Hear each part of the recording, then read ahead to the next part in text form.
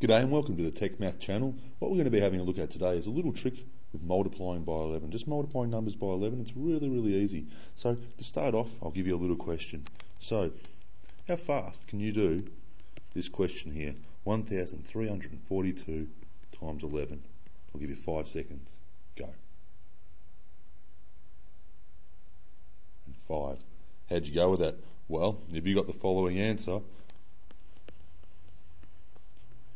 that was the right answer, okay? Um, and you should be able to get it almost that quickly, okay? Uh, this is a really, really easy, but it's a, it's a great little trick when you first work it out. It, it makes you look like you've got this really, really great uh, mathematical ability, and, and it is a great maths ability. And so I'm going to show you right now how to do this.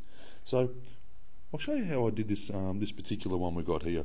I'll rub out the answer, and I'll go through the process how I work it out. And I'm going to do it in the way that I'd recommend you, you actually do it.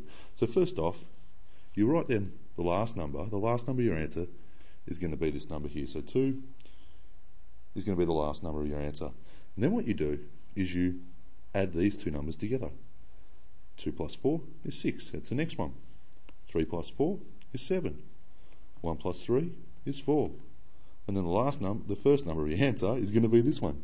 There you go, the answer 14,762. Hey, that's pretty easy, right? I'll tell you what, I'll give you another one of these. I'll make it a little bit harder this time, okay? So, I'll, uh, here we go. Um, just get this pen going. And so, what about this question here? 1,257 times 11. So, do you remember how to do this? Well, what you did first off, you write down this number here. So, that's going to be the last answer, the last number of our answer. And you're going to add these guys together. Now, 5 plus 7 is 12. What I recommend you do here is you put the 2 down, because you can't put 12 down there. You, have got to carry 1 across. And you put a little 1 down there, just to remind you that you've got to carry it across to the next answer. So for the next part, 2 plus 5 is 7, plus this 1 here is 8. And then 2 plus 1 is 3. And then the last number is this. So you've got the answer of 13,827. Cool, right? Okay, I'll give you one last question. I reckon you might be getting the hang of these by now. So, here we go. The very last question I'll give you. Uh, what about, say, a, a bigger one?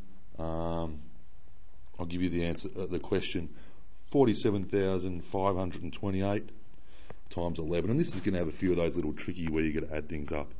Okay, and so again, this number first, the eight 2 plus 8 is 10, so put the 0 down, the little 1 up there to remember to carry it.